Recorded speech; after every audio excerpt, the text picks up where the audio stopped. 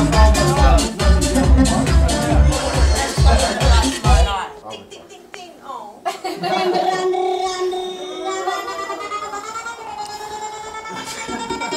felt like a cheat, Shit. Hi, Vic.